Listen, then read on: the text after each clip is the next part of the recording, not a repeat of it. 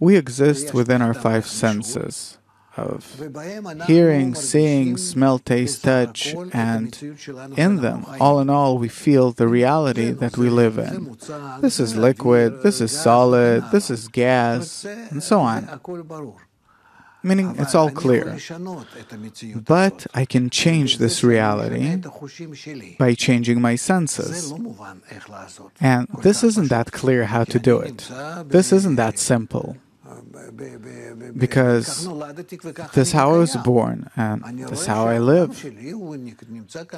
I see that my world is the still, vegetative, animate, the speaking, and my thoughts are only about how do I relate to them, and that's it. But no. Suddenly I find a very special method called the Wisdom of Kabbalah that explains that what I receive in my senses, it's not that it's necessarily some kind of absolute. No, but that I can change it. How? By changing my senses. Meaning, that if I want to change reality, I don't have to change something on the outside, I have to change something on the inside, inside myself, and then reality will change. Because this reality doesn't exist outside of me. This is what I feel and depict inside myself. And you also don't exist. You exist in a reality that I'm creating now, and how good it really is. I can be without you, alone, on my own, everywhere. How do you do it? By the power of thought. That if I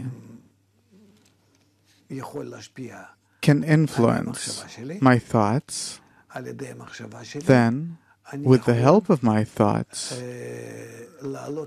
I can elevate myself above my desires. And then I can process my desires into a state where they will work differently in a different way, not in reception, but in giving. And then it's not that I simply extend my desire, that I see more or hear more, like with a big ear or something. No.